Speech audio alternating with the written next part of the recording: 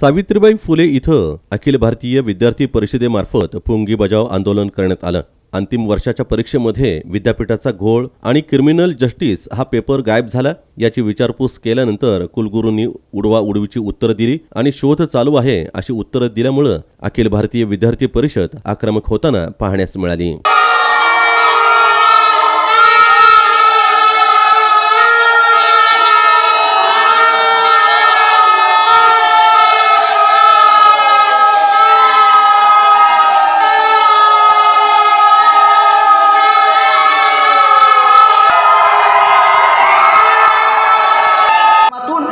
तुमच्या कार्यालयात घुसून आंदोलन करण्यात आलेलं आहे. त्याच्यामुळे माझा हा प्रश्न आहे की जर तुम्ही याच्यावरती तात्काळ जर निर्णय घेतला नाही विद्यार्थ्यांना जर तुम्ही न्याय देण्याचं काम केलं नाही तर विद्यार्थी परिषद याच्यापेक्षा तीव्र आंदोलन करेल आणि कुलगुरूंना या खुर्चीवरून ठेवणार नाही. ज्या लॉच्या डीन बसलेल्या आहेत कुर्णे मॅडम यांचा आणि लॉचा काहीच संबंध नाही आहे त्यांना विचारलं मॅडम पाच वर्षाचा बी एल एल बीचा कोर्स आहे. तो पुणे विद्यापीठाने बंद केला आणि तिथं ते सांगितलं की बी एची डिग्री तुम्हाला मिळणार नाही. आत्तापर्यंत बी एची डिग्री मिळत होती परंतु ही डिग्री आम्हाला त्याच्याबद्दल कल्पना नाही असं उत्तर मॅडम देत आहेत. त्याच्यामुळे या कोण मॅडम बसवलेल्या आहे तिथं आणून? परीक्षा नियंत्रकांना काही माहिती नाही आहे प्रकुलगुरू याच्यामध्ये लक्ष देत नाही आहे आणि सर्वसामान्य विद्यार्थ्यांना वाऱ्यावरती ठेवून विद्यापीठ प्रशासन काम करतंय असा आरोप अखिल भारतीय विद्यार्थी परिषदेच्या माध्यमातून आम्ही करतोय.